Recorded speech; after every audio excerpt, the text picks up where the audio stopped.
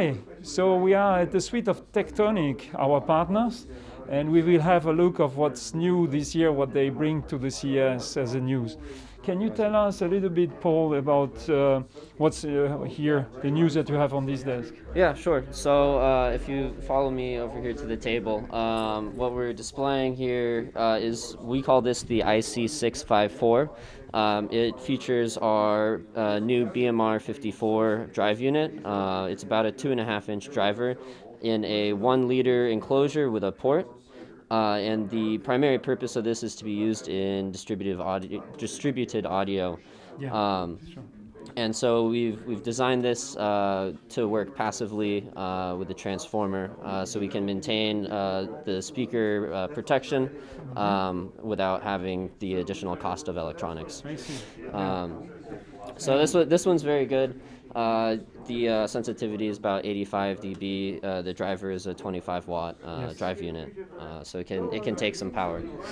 Um, we're introducing also uh, different form factors uh, for our other drive units. Uh, as you see right here, we have a BMR 28 in a in a light switch box. Yes. Uh, the Nice idea, yeah, to bring audio and uh, light switch. box. Yeah, and the the thing is, is a, a lot of companies like Nest uh, or any of the smart home products, Yeah. uh, they want to they want to feature audio in their in their devices, and so uh, we kind of have a unique proposition because by putting it in the wall, we can take advantage of the of the uh, the two pi space, uh, and we can get additional output, uh, and we maintain the wide directivity of BMRs, so everyone who's in the room will get the same consistent audio, Yes. um, and Yes. so uh, the uh, the end users won't be experiencing the power beaming um, of a conventional drive unit. I see, I see. Um, and so we have uh, the similar the similar idea, just larger. It's the uh, it'll have more output,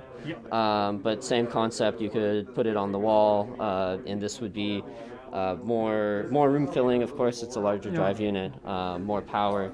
Uh, but it's, it's just the kind same kind of idea. It's like how do we how do we take uh, our BMR and deliver good consistent sound to Yeah, sure. the end users uh, in different parts of their home. And if we move to the soundbar. Sure. Yes.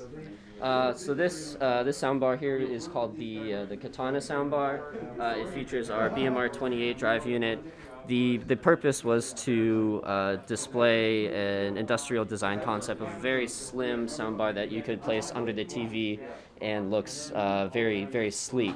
Yes. Um, So that's and- the first generation. and this is the first generation. Uh, as we we are continually developing uh, a drive unit that we call a high aspect ratio uh, driver, we call it the HARP, and uh, it will take this form factor and cut it uh, and reduce the height by about thirty percent. Yes. Um, and so it- it'll still maintain the, the wide directivity and the performance that BMR delivers over the long axis and over the short axis, um, but it, we can just reduce the form factor. And uh, at at the end of the day, we want to enable industrial uh, designers to be able to express their uh, their design language uh, more freely.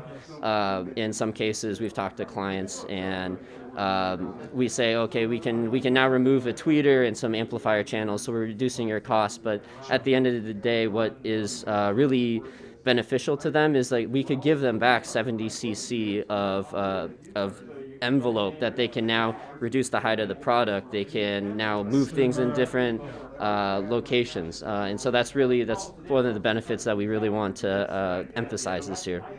Perfect. So thank you. Uh, now we will move to the next demo, the BMRK, the real news from the CES here.